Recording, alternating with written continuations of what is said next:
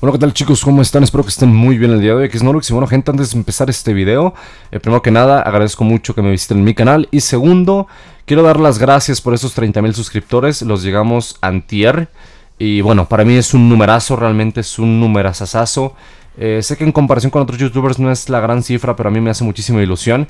Y créanme que, bueno, vamos a llevar a cabo una meta más grande, ¿no? Entonces, eh, muchísimas gracias y vamos con el video. Yo creo que el tema predilecto de Internet después de que salió esta red social era cómo tener, o más bien es cómo tener acceso a una cuenta de Facebook, o bien, en su método coloquial, cómo hackear un Facebook. Es de hecho de los primeros matches que hay en Google de búsqueda, es de lo que la gente más busca en Internet, al menos en Latinoamérica. Entonces a mí se me hace algo bastante interesante y bueno, yo igual tuve, o más bien tengo esa curiosidad de saber cómo se puede acceder a esta red social. Me he tomado la libertad de conseguir algunos métodos eh, en el sentido teóricos, más no prácticos. El primer método sería resetear la contraseña. Yo creo que este método es uno de los más eh, estúpidos, por así decirlo, o que todo el mundo ha intentado. Pero bueno, hay una clave. El asunto de resetear la contraseña, obviamente necesitamos el correo de la víctima. Y básicamente lo que hacemos es intentar resetearla, pero no por la página web, ya que la página web lo que hace es eh, manda un correo de verificación al correo de la víctima y como nosotros no tenemos acceso a ese correo, a menos de que hayamos hecho, no lo sé, algún, eh, alguna suplantación de identidad, podremos acceder. Entonces lo que tenemos que hacer es intentar suplantar la identidad mediante soporte técnico. Lo que hacemos es contactar al soporte técnico diciendo que somos la víctima y posteriormente eh, damos algunos documentos que podamos conseguir de la víctima diciendo que hemos perdido acceso a nuestro correo y que nos surge tener esa cuenta de Facebook ya que tenemos algún tipo de inquietud en ese Facebook o asunto pendiente.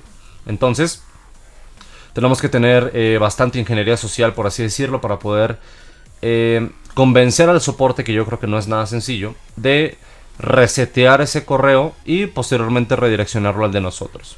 Así de sencillo. Como segundo método es el keylogger. Yo creo que ese también lo han estado escuchando en los usuarios de internet. O keylogger por sus letras en inglés y su pronunciación. Eh, un keylogger básicamente es un programa el cual captura todo lo que tú haces en tu computadora. Hay ciertos grados.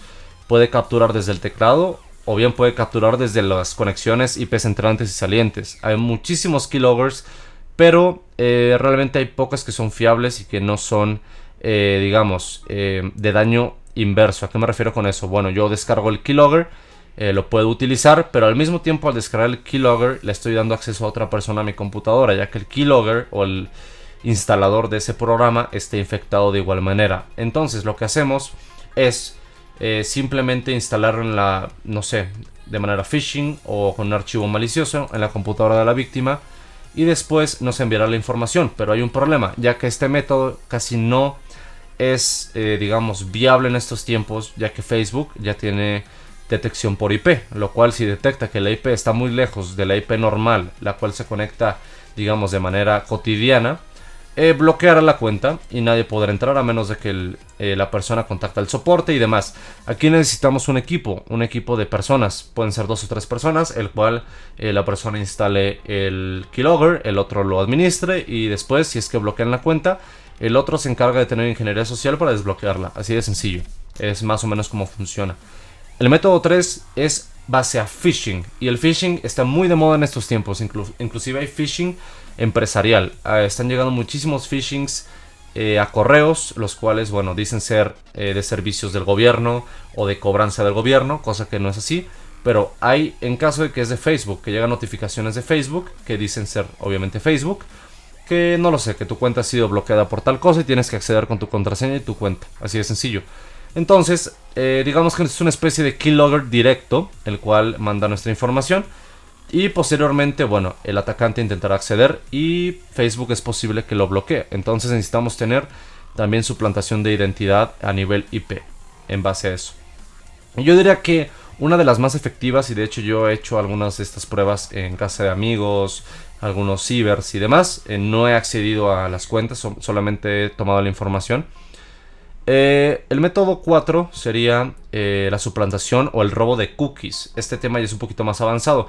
El robo de cookies lo que hace es de que nosotros al tener acceso a la misma Wi-Fi o a la misma red Wi-Fi que tiene la víctima, podemos, eh, digamos, ser un man in the middle, como lo dicen los expertos, el cual es estar en medio de la conexión del cliente, que sería la víctima, y del servidor de Facebook. Lo que hacemos nosotros es simplemente interceptar esa información encriptada obviamente o, hacemos un sniff, que sería el término correcto, y robamos esas cookies. Digamos que las cookies son una especie de credenciales, la cual el sitio de Facebook eh, detecta como si tú tuvieras la llave a tu cuenta, temporalmente obviamente, ya que cuando cerramos la cuenta, esas cookies desaparecen. Entonces, eh, al estar en la misma red Wi-Fi, podemos estar en la misma casa, en el mismo restaurante, en el mismo ciber, o bien eh, ya teniendo un poco de conocimientos de Men in the Middle o hackear ya cuentas externas de internet, podemos acceder al router y después ponernos un main in the middle. Y podemos estar en medio de esa conexión. Nos robamos esas, esas cookies más bien y accedemos a la cuenta. Eh, desautenticamos a lo que sería la víctima, la sacamos de su cuenta y nosotros nos metemos a la cuenta. Entonces podemos tener un poco de tiempo, pero obviamente la víctima se da cuenta. Entonces tenemos que ser rápidos en ese aspecto. Cambiar contraseñas, cambiar correos en caso de que se pueda. Tenemos que tener un plan. Obviamente hay que tener un plan para eh, hackear un Facebook actualmente. Eh, como comentario, y para terminar, vamos a poner dos comentarios. Primer comentario, a la hora de que ustedes busquen, si quieren buscar hackear un Facebook, yo personalmente les digo que no bajen ningún programa eh, mágico. ¿A qué me refiero? Todos esos programas que tú descargas de internet o que descargamos de internet en un momento me incluyo, yo también lo hice y quedé infectado y tuve que formatear la computadora porque no sabía ni siquiera cómo correr un antivirus profundo. Eh, es virus, simplemente esos programas son virus, es obvio que son virus. Te destruyen la computadora, te instalan paquetes de virus y demás. ¿Por qué? Bueno, porque no funcionan. Simplemente es un programa que está diseñado cuando tú picas el botón de extraer información o conseguir password o sacar contraseña de Facebook o todo eso. Eh, es una información o es un programa que está diseñado para a la hora de que tú picas en ese botón instala el virus. Así de sencillo. Entonces eso no funciona. Funciona lo que es técnico. Funciona más bien lo que... Eh, todo ese tipo de cuestiones ya técnicas y de redes de suplantación de identidad todo eso funciona, pero hay que recalcar que es ilegal, por algo es ilegal, por algo la gente intenta, o las páginas, empresas como Facebook intentan disuadir ese tipo de cuestiones. Y como último comentario, quisiera simplemente dar eh, unos consejos para proteger las cuentas. Es muy simple, tener un antivirus bueno, eh, no descargar programas extraños, obviamente. Si el antivirus detecta un troyano, eh, quitarlo inmediatamente, ya que es un keylogger. Normalmente los troyanos eh, manejan diferentes tipos de cuestiones, tanto keyloggers como backdoors. Como, bueno, un backdoor es un troyano básicamente, pero bueno, lo puede eh, contener también. Un byfest que también eh, cambia su plantación de cookies, pero lo hace por DNS spoofing. Es un poco más sucio eso, ¿no? Y bueno, no quiero ser muy, muy profundo en este video. Se me ha ocurrido hacerlo. Yo creo que es un buen tema del cual hablar y del cual eh, quedar cosas claras. Lamento que no sea una guía. Sé que mucha gente piensa que es una guía. Pero no. Simplemente es un video al cual yo quiero informar. Eh, me llamó la atención. Y demás. Entonces, eh, parte de este video, de la información que sacó, fue por parte del foro de Wonder How To. Que es un foro que yo eh, solicito mucho, me gusta muchísimo ya que te enseña a hacer algunas cosas. Y bueno, vienen algunos de estos puntos en esa página, se las eh, recomiendo muchísimo. Y bueno, me parece que está en inglés, pero para los que tengan inglés, eh, les va a ser de muchísima ayuda. Así que cualquier cosa, gente, espero les haya gustado este video. Un like, un comentario y suscríbanse al canal para ver más videos del estilo. Y nos vemos en redes sociales. Y hasta la próxima. Chao.